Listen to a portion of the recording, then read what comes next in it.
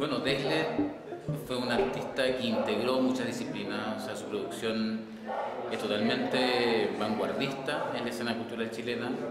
Eh, vamos a decir que recogió o, estuvo en sintonía con la, eh, con la experimentación más vanguardista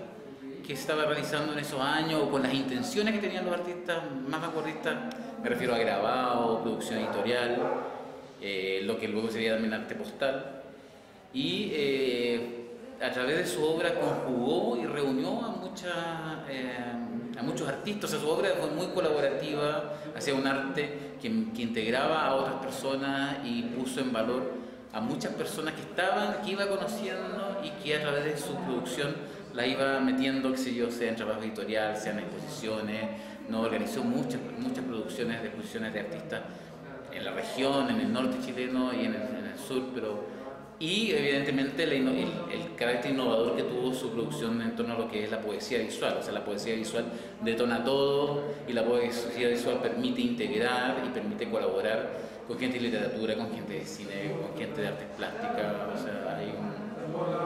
creo que es un arte eh, del buen amigo, ¿no? O sea, era buen amigo con todo y eso conjugaba y, además potenciaba la obra.